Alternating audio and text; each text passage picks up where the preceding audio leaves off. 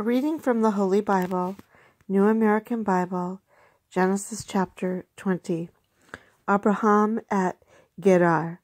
Abraham journeyed on to the region of the Negeb, where he settled between Kadesh and Shur.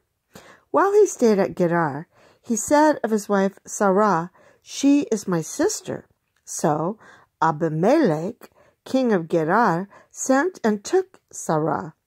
But God said to Abimelech in a dream one night, and said to him, came to Abimelech in a dream one night, and said to him, You are about to die because of the woman you have taken, for she has a husband. Abimelech, who had not approached her, said, O Lord, would you slay a man even though he is innocent? He himself told me, She is my sister. And she herself also stated, he is my brother. I did it in good faith and with clean hands. God answered him in the dream, Yes, I know you did it in good faith.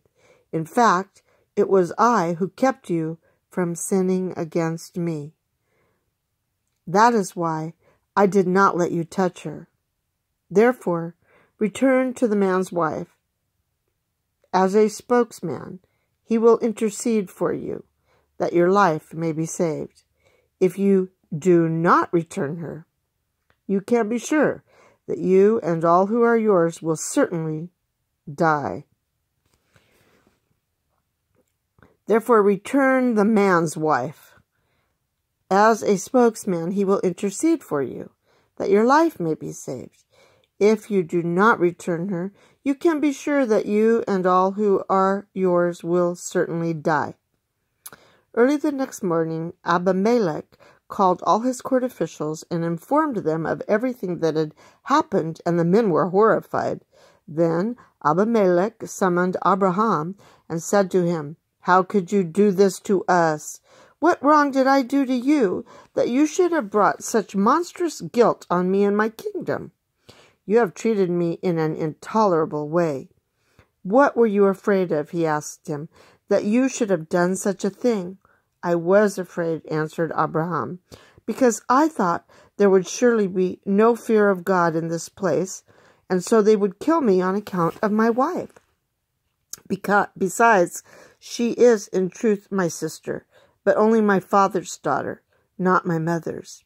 And so she became my wife. When God sent me wandering from my father's house, I asked her, Would you do me this favor? In whatever place we come to, say that I am your brother.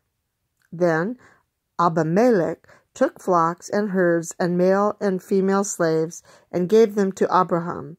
And after he restored his wife Sarah to him, he said, Here, my land lies at your disposal. Settle wherever you please. To Sarah he said, See, I have given your brother a thousand shekels of silver. Let that serve you as a vindication before all who are with you. Your honor has been preserved with everyone. Abraham then interceded with God, and God restored health to Abimelech, that is, to his wife and his maidservants, so that they could bear children. For God had tightly closed every womb in Abimelech's household on account of Abraham's wife Sarah.